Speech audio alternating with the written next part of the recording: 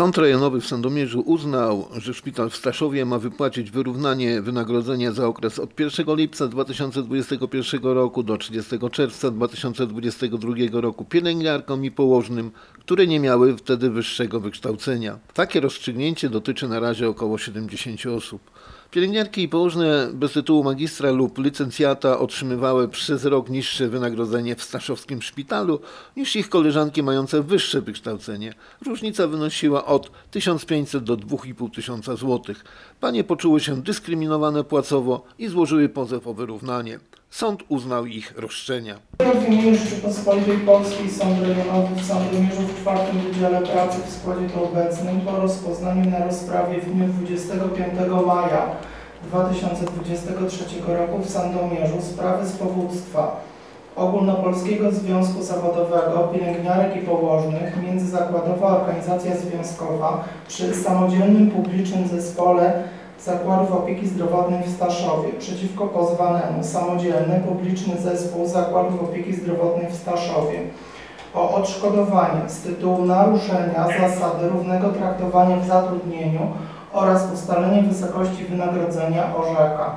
Zasądza od pozwanego Samodzielnego Publicznego Zespołu Zakładów Opieki Zdrowotnej w Staszowie na rzecz powódki kwotę 18 607 zł 20 groszy wraz z ustawowymi odsetkami za opóźnienie od dnia 11 sierpnia 2022 roku do dnia zapłaty. I tak 22 razy wyrok w sprawie nierównego traktowania w zatrudnieniu, tylko podczas jednej rozprawy, a tych rozpraw było kilka, odczytywał sędzia sądu rejonowego w Sandomierzu Ireneusz Krawczyński. Sąd nie miał wątpliwości, że zostały naruszone przepisy kodeksu pracy. W pozwanym szpitalu doszło do naruszenia zasady równego traktowania w zatrudnieniu, albowiem e, pielęgniarki wykonujące tą samą pracę otrzymywały różne wynagrodzenie.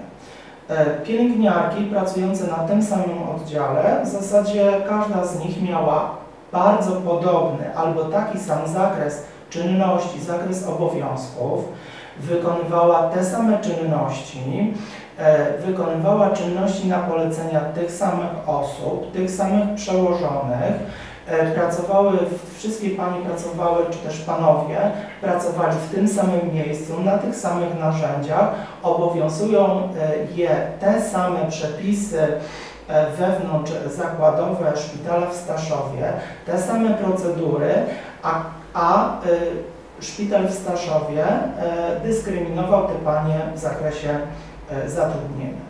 Czyli podsumowując, nie może być takiej sytuacji, iż pracodawca za tą samą pracę, pracę tej samej jakości, tej samej wartości wynagradza pracowników w różny sposób. Sąd ze względu na złą sytuację finansową szpitala zwolnił staszowską placówkę od ponoszenia kosztów sądowych.